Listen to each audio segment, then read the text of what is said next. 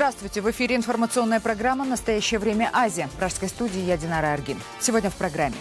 На фоне отмены санкций против Ирана мировые цены на нефть окончательно рухнули, потянув за собой вниз экономику России и центральноазиатских стран. А цены на продукты, наоборот, взлетели. Мы все, конечно, недовольны.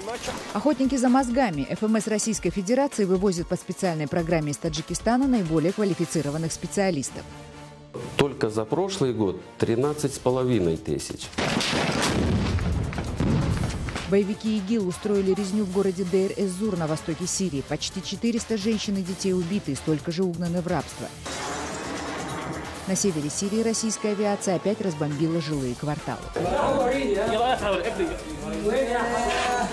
В Кыргызском Нарыне популяция волков превысила 600 особей. Хищники режут скот и уже нападают на людей. Самая масштабная за последние десятилетия охота на волков в нашем специальном репортаже. Сам лично за год порядка 15 волков застрелил. Стоимость нефти марки Brent в начале недели опускалась до 27,7 долларов за баррель. Это произошло на фоне отмены западных санкций против Ирана. Соответственно, цена на российские сорта нефти марки Юралс упала фактически до 26 долларов за баррель. Такой низкая цена на нефть последний раз была в конце 90-х годов. Падение цены на нефть спровоцировало обвал на московской валютной бирже. Курс доллара уже превысил 79 рублей и неумолимо движется к отметке 80. Курс евро достиг почти 87 7 рублей. Таким образом, курс рубля вплотную приблизился к прошлогоднему критическому минимуму. Российские финансовые власти практически не комментируют ситуацию, а граждане России считают, что рубль падает по политическим причинам. Ну, ни к чему хорошему однозначно это не приведет. Э, я думаю, что политика, собственно, ситуация политическая как-то сказывается, конечно, и на нашей валюте. Ну, э, во-первых, это все с политической стороны нужно смотреть, а также по поводу нефти тоже нужно этот э, вопрос рассматривать, да. Мы как бы простые люди в этом, не все разбираются, но э, это все как бы политика, могу вам сказать одно. А всю жизнь у нас и падение, и подъемы. Ну и что? Будем жить и дальше. Тем временем в Иране отмена многолетних западных санкций вызвала всеобщее ликование. Президент Ирана Хасан Рухани выступил со специальным обращением к нации, в котором заявил, что это событие открывает новую золотую страницу в истории страны. А аналитики сходятся во мнении, что теперь Иран будет стремиться продать максимальное количество нефти по любой цене, предлагаемой рынком. И ситуация низких мировых цен на нефть будет сохраняться еще очень долго. Вслед за рублем вниз катится и казахстанский тенге. Он теряет по 10 тенге в день, и перспектива стоимости доллара 400 тенге за единицу американской валюты, по мнению экспертов, дело нескольких недель, а может быть и дней. Падение курса казахстанской национальной валюты, так же как и в России, неизбежно сопровождается скачками цен на продукты и товары первой необходимости, которые Казахстан в основном закупает за рубежом. Подобная ситуация складывается и в других республиках Центральной Азии, и даже в тех, где свободная продажа иностранной валюты запрещена. В Таджикистане, где недавно запретили торговать валютой в обменниках и стали регулировать курс доллара административными методами, почти на 30% выросли цены на основные продукты питания. Это в первую очередь мука, масло, сахар сахар и соль. По некоторым позициям цены выросли до 40%. Жители страны опасаются, что уже в ближайшее время самые необходимые продукты станут недоступными, а предприниматели напрямую связывают рост цен с повышением курса доллара. Цена муки повышается потому, что товар проходит как минимум через три руки посредников. По таким ценам никто не сможет прожить. Сегодня я могу что-то купить, завтра нет. Мне 75 лет. Обещали повысить пенсии, но не сделали. Я купила сахар. Сейчас цена сахара 6,5 или даже 7 самани. А неделю назад сахар стоил 5,5 самани.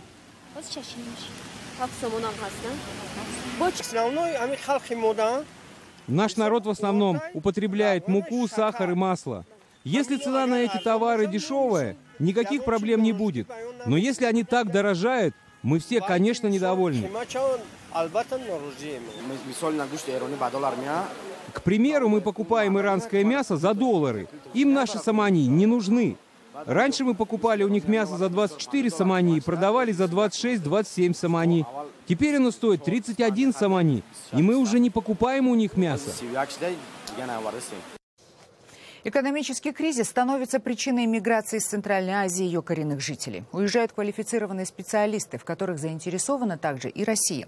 В частности, в Таджикистане филиал Федеральной миграционной службы Российской Федерации выдает разрешительные документы на переселение наиболее образованным и работоспособным жителям республики. Наш корреспондент Анушер Вонарипов продолжит тему.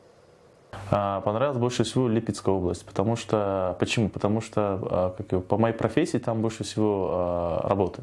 Мухаммад Озут Сидиков недавно получил свидетельство на переселение в Россию вместе с семьей. Несмотря на то, что молодой человек довольно успешен, в свои 30 лет он возглавляет рекламный отдел крупной компании, а его мать и сестра тоже неплохо зарабатывают. Они решили покинуть родину вместе.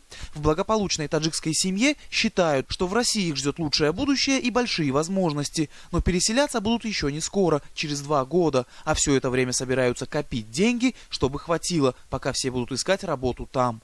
Ну, во-первых, нужно будет собрать капитал, потому что мы едем на свои средства. А, вот, а, не знаю, почему-то идея с подъемными мне не понравилась, а, и, ну, не знаю, может, просто не доверяю.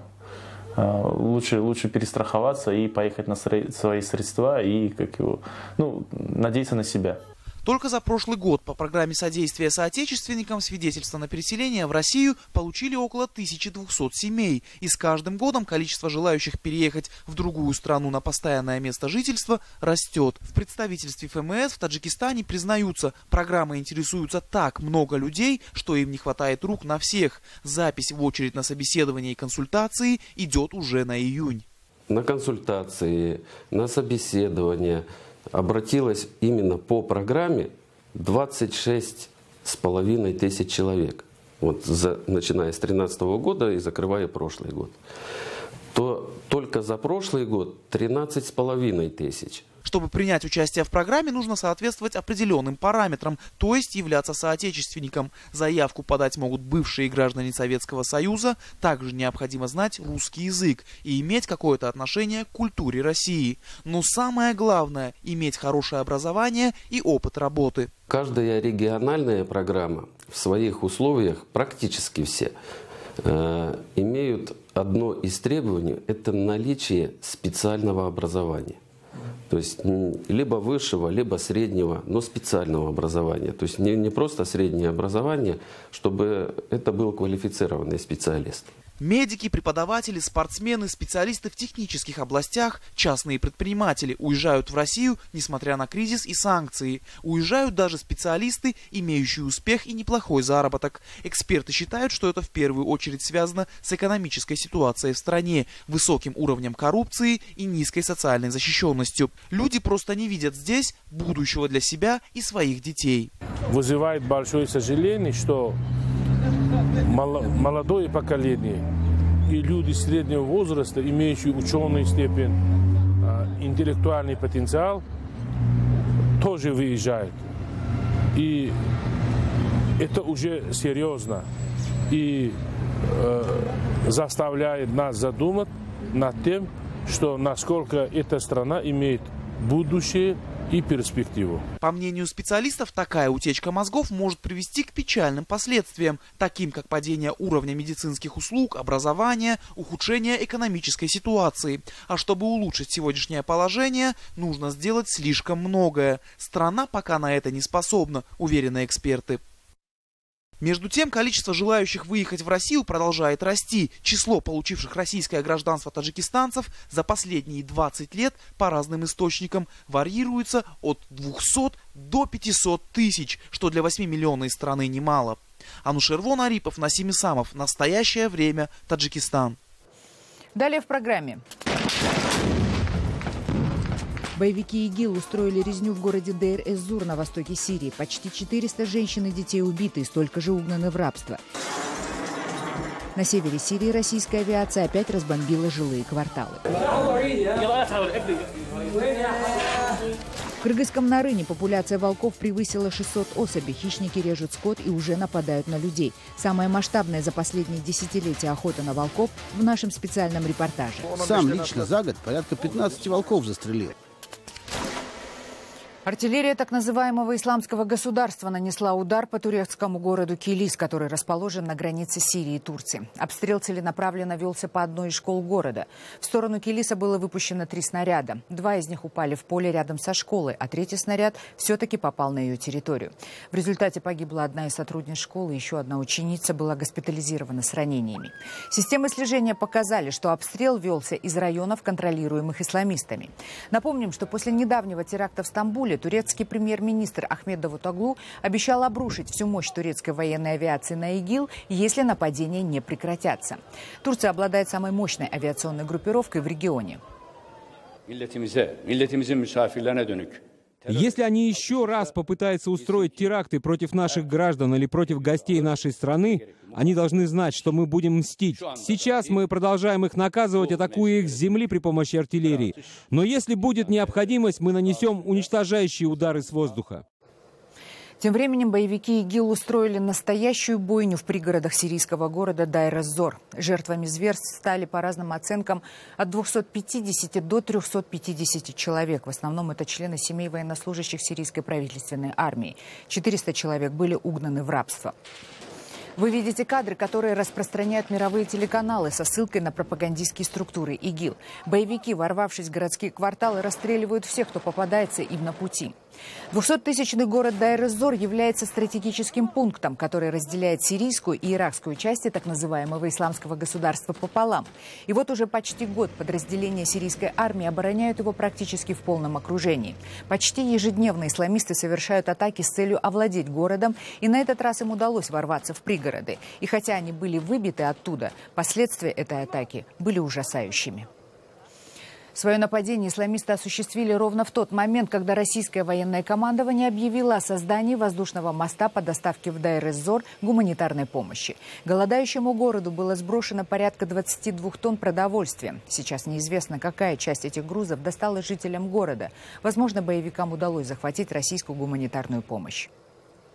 Основная помощь направляется в город Дейр-эз-Зор, который на протяжении длительного времени находится в осаде террористов ИГИЛ. Сегодня именно э, военно-транспортными самолетами Ил-76 ВВС Сирии с использованием российских парашютных платформ в Дер-Эзор доставлено 22 тонны гуманитарных грузов. Их распределение будет осуществлено местными властями. Тем временем пропагандистские структуры ИГИЛ распространяют видео последствий российских авиаударов по сирийской столице террористического халифата городу Ракка. Акцент делается на жертвах среди гражданского населения. В частности, сообщается, что во время последней бомбежки погибло несколько детей.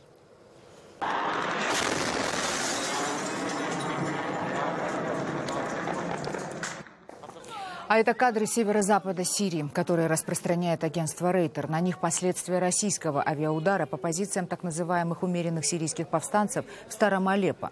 Как сообщают сирийские правозащитники, в результате бомбежки погибло более 10 гражданских лиц и было ранено большое количество детей.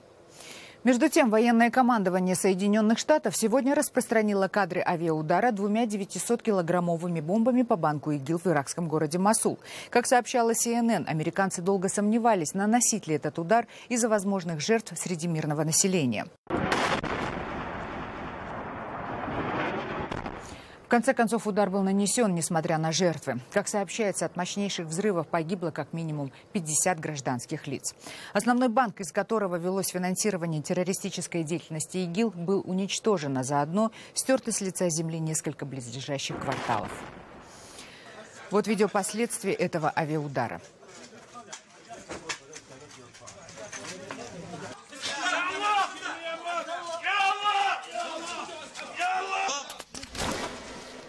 В Европе сегодня отмечают так называемый День солидарности с мигрантами. Наш корреспондент Гулясаль Камолова выясняла у парижан, как на самом деле они относятся к беженцам с Востока.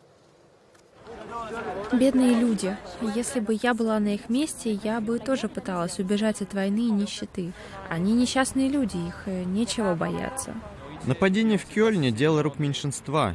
И непонятно еще толком, беженцы это устроили или нет. Не больно за них. Снова всех мусульман будут мазать одной краской из-за каких-то отдельных мерзавцев, у которых нет ни культуры, ни человечности. Не все мусульмане преступники. Нужно хорошенько поработать над интеграцией мигрантов. и первого, и второго, и третьего поколения во французское общество, чтобы у всех были по-настоящему равные возможности. В Восточной Европе, в частности в Чехии, разворачивается настоящая антиисламская кампания, которую поддерживают высшие государственные чиновники. Президент страны Милош Земан сделал очередное ксенофобское заявление в адрес мусульман. Опыт стран Западной Европы, в которых существуют районы компактного проживания, указывает на то, что интегрировать мусульман практически невозможно. В их странах у них своя культура. Не стоит ее принимать в Европе, иначе все закончится, как в Кёльне. В Кыргызстане резко увеличилась популяция волков. Хищники нападают на домашний скот и даже на людей. Егеря заявляют, что они насчитали в окрестностях города Нарын уже свыше 600 волков. Власти области предпринимают беспрецедентные меры в борьбе с хищниками. Всем охотникам обещано вознаграждение за каждого убитого волка. Специальный репортаж нашего корреспондента Адилета Бектурсунова самый масштабный за последние десятилетия охоты на волков в Кыргызстане. Вот они следы, свежие. Следы серых хищников теперь в горах не редкость. Волки заполонили леса и пастбища в радиусе сотни километров. Значит, мы правильно сели. Пока с одной стороны холма загонщики гонят зверя, с другого края охотники устроили засаду. В стране началась охота на серых хищников. Идет охота на волков, идет охота на серых хищников, матерых и щенков. Кричат загонщики и лают псы карфоты, Кровь на снегу и пятна красные флажков.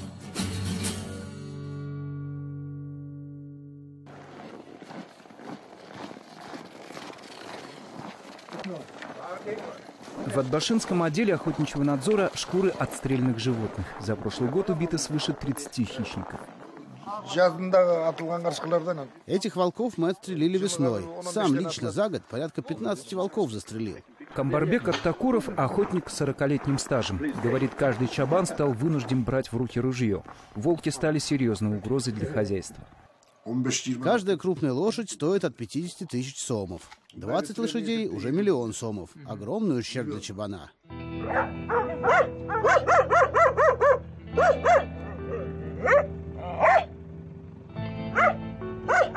Государство с недавних времен начало поощрять отстрел. В этом году за каждого убитого волка власти дают свыше 60 долларов. Цены за убитого волка увеличили. За одного волка дают 5 тысяч сомов. Еще 5 тысяч сомов в качестве премии выдает сельский совет за каждого убитого волка.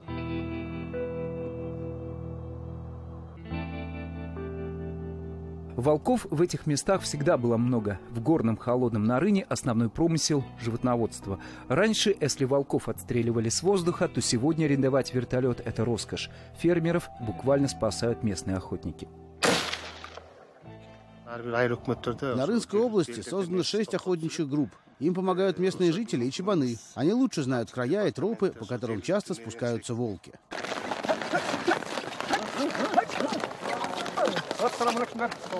На охоту жители села Акджар выдвигаются задолго до рассвета, заряженными ружьями и с надеждой вернуться с трофеем. Я с Камчой иду на волка. У нас на поселок всего два или три ружья.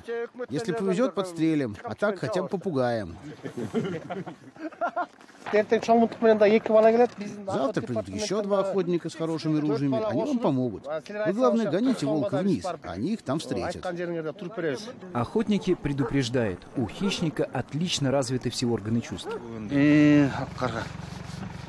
Без белого камуфляжа можно спугнуть волка. Будем надеяться, что не заметят.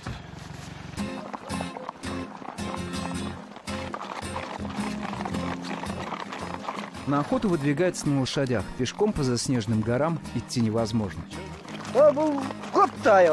Даст бог поймаем. В горах слишком много волков. Убить волка здесь считается делом благородным. Если удастся пристрелить даже одного хищника, уже неплохо.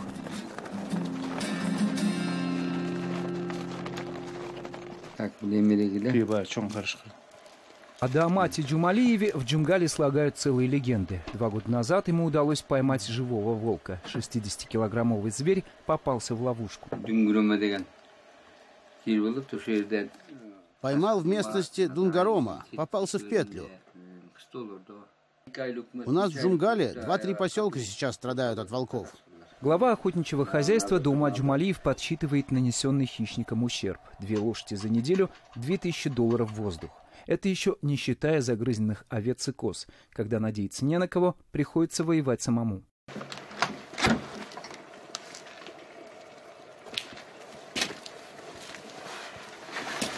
Четыре часа утра. Мы идем в горы. Жители Чаека на войну с волками вышли на внедорожники.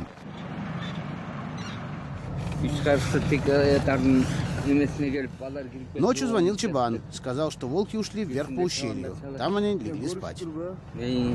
Хищники в пастбище загрызли лошадь. На волчью тропу отправились даже те, кто раньше не держал в руках оружие. Сейчас в стволе нет пули. Когда будешь стрелять, дергаешь затвор и готово. Оружие стоит на предохранителе. Вот ружье. Сначала стреляй эти два патрона. Вот еще два, на всякий случай. Тут же егеря определяют тактику предстоящей охоты. Волки спускаются обычно с востока. Нужно с трех сторон гнать. Другая группа должна их поджидать из ущелья. У подступа к лесу группа разбивается. Загонщики уходят к холмам, выгонять зверей в ущелье, где их будут поджидать стрелки. Здесь как минимум 9 волков есть. Здесь мы их и встретим. Нет вероятности, что волк пойдет именно по этой тропе. Неизвестно, где он был ночью. Неутомимые странники на одном месте подолгу не засиживаются. И здесь как повезет. Мы правильно сели. Правильно сели. Охота в горах, как военная операция, все начинается с разведки. Мороз в минус 20, ни почем.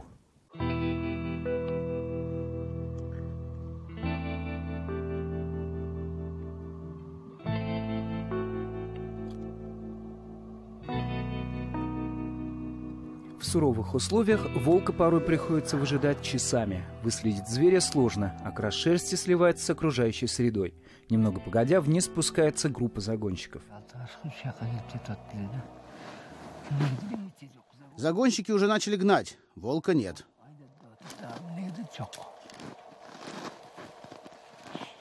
Сегодня неудачный день. Волка не повстречали. В горах лишь одиноко бродячие лисы. Ну, теперь волков здесь не будет как минимум 2-3 дня.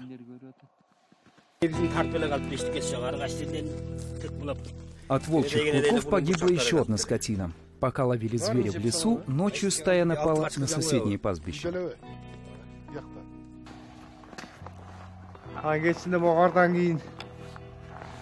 Вечером волки ушли в обход. Теперь они в лесу. Ближе к обеду в горах немного потеплело, но охоту решено остановить. Волки уже далеко ушли в лес. Расстроенные охотники возвращаются без трофеев. Но война людей против волков здесь еще не закончилась. Адилет Бектурсунов. Настоящее время Кыргызстан. Это были все новости, о которых мы хотели вам рассказать. Читайте нас в социальных сетях и смотрите на сайте currenttime.tv. Мы встретимся с вами завтра в это же время. Всего доброго.